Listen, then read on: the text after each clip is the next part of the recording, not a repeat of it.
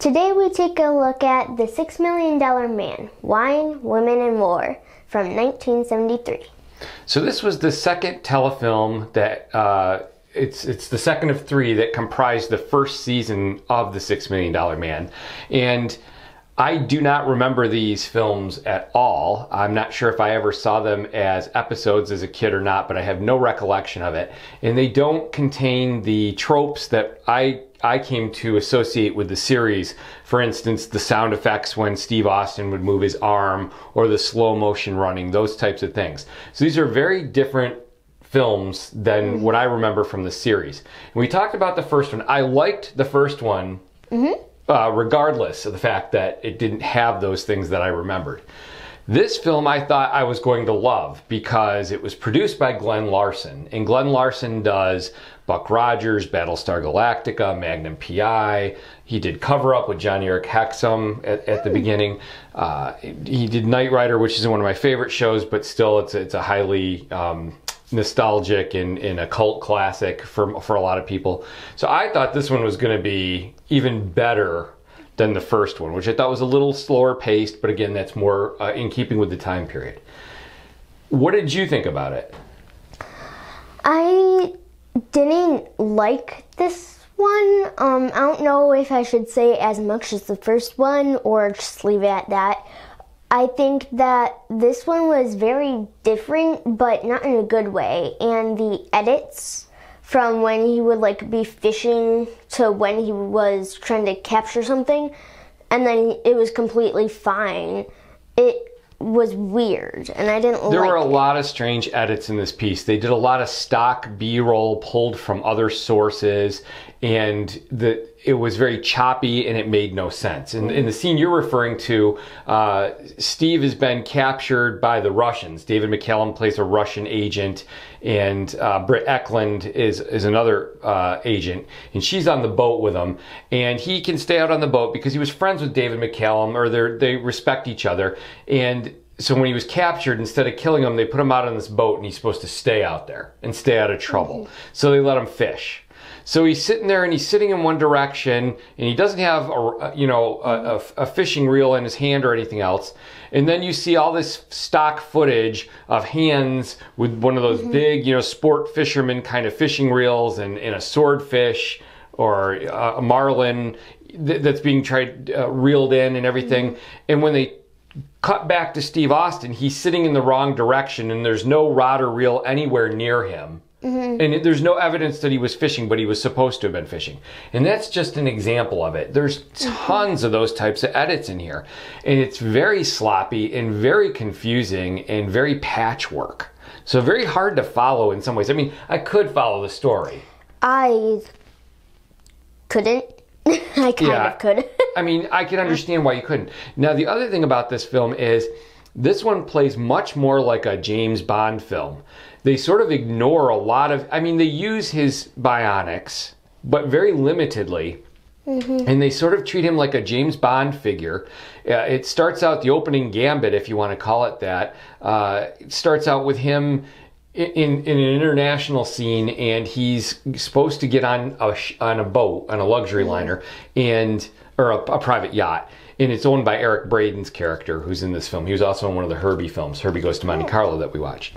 He's supposed to infiltrate that uh, yacht, go into the safe, and steal this these the documents that they need, and there's some love interest that that he has right at the very beginning. She comes out on the balcony when he's looking out and c- contacting the submarine, and she leaves. And then later, Steve goes to the ship, and ultimately, the the whole thing falls apart. But he finds out that she was killed, and it destroys him for the rest of the movie. He's just distraught by this. But we never had any Explanation. well, we just never saw them together except for that brief second. And in that brief little encounter, he didn't really look like he cared about her that much. But all of a sudden, he was completely upset by this. Uh, so it was a, it was very, I don't know it. It took a lot of shortcuts, and the edits were very confusing. And I was very disappointed in it from the standpoint of, like I said, Glen Larson does a lot of Mm-hmm. of what I love. A lot of my childhood favorites are there, but this one just didn't necessarily work. Yeah, I think at the beginning of this one for me, I was kind of excited, especially when he would like use his eye or something. Yeah, they did like, use the eye in this one where they did not in the first one. once, I think. And I was excited for that. I was wondering if he could go into the um, water because of his Right. bionic bionics. Yes. Um, and that happened, and I was excited for most of the beginning, like the very, very beginning, and then kind of towards the middle ish, I kind of just was like given up. Yeah, I mean, again, they tried to go with this James Bond esque kind of thing. So Eric Braeden is playing a James Bond style villain here. He, it's it's a world domination kind of scheme that he's working with, and it's very I don't know a little bit over the top. Interesting that he played all these villainous characters, kind of, because he's you know he's sort of a rugged, rugged, good-looking leading man type, but he played a lot of villains in these films. And in that James Bond formula, I mean, certainly Lee Majors could pull it off, but I, ultimately that's not what Steve Austin winds up doing and being successful with in the series. So I think this, you know, these were a little bit strange. Um, I I think they were still trying to feel their way around and find how they were going to use the character, and I don't think this one was that successful in that way. Yeah, um, in the first one, his arm did get like broken in a way, Yeah, his, And- his skin gets ripped open, and you can see the mechanics and the bionics Right. inside. But in this one, the same thing happens, and I thought that there would be like a different problem or something, and it was just the same problem over and over. Right, and that's another thing, uh, a good point to bring up is the footage. They used footage from the first film and tried to pass it off as new footage. So when he did damage himself after that opening uh, piece, he goes back and he has more surgery. And the Rudy Wells character passes from Martin Balsam to Alan Oppenheimer in this film. And we do get Richard Anderson as Oscar Goldman. This is the first time we see him, and he would become a series regular. So they, he's having this operation, but it's the same footage that was used in the first I film wonder- for the original operation. It's exactly the same. I mean, it's all the same, but we're expected to believe that it's a new operation, and it, it, this is hmm. new. This is a new experience that's happening. It's not like a flashback. It's it's a new operation. Hmm. So it, again, they used a lot of that. There were other scenes where the edits, you know, there was, I don't know if it was supposed to be computer banks lining up, but the scale was all confused. So it looked like, is mm-hmm. it two levels of a, of a building? And, Right. and these are open, or is it a small? Is it a smaller scale, and we're seeing computer banks lighting up? I couldn't even tell what it was uh, I at times. know. And you asked me, you said, "What is that?" And I'm like, "I honestly don't know. I didn't know what Right. it was. I couldn't tell you." And it was that same sequence appears. We have watched the third movie, and we'll come back and review that. Mm-hmm. Um, that one is uh, the the the solid gold kidnapping, I think it's called, uh, and that's also a Glen Larson produced one. And they use that particular footage in that one too, with these things lighting up, these banks lighting up. And I again, I could not tell. Is this a what? What is the scale? Is this a building with two levels and we're seeing it, or is it a smaller scale computer? I couldn't tell. So very sloppy edits, lots of stock B-roll it seemed like the script was kind of patchworked together and they really didn't have the formula yet for this for this particular uh, Yeah. um, character frankly they just didn't know what to do with him yet I feel like it was like lazy writing. Well i you know i, I think it, it was adapted I, I mean it was adapted again from another Martin Caidin novel but i think they adapted it piecework.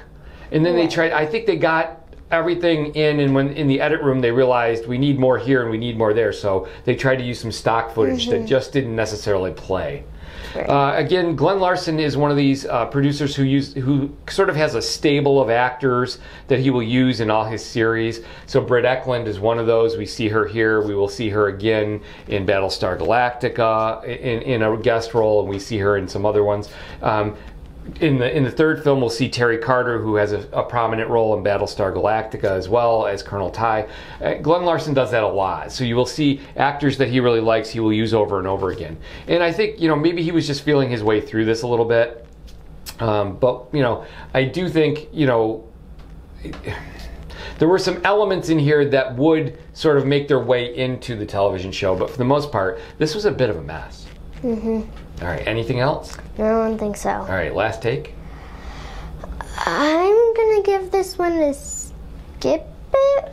Yeah, for me, this one's a skip it too. Uh, the first one I, I could get by with even the slow pacing and everything because I thought the story was well told. This one was just, it was too patchwork. It was too confusing, and the edits were really, really Yeah. confusing. So, and, and again, the formula, they were trying to duplicate James Bond here, and it didn't come, I don't think it was a successful uh, copy of that. So, well, we'll be back with the solid gold kidnapping next time.